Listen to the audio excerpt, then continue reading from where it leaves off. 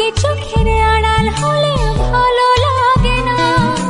এই তো কদিন আগেও ছিল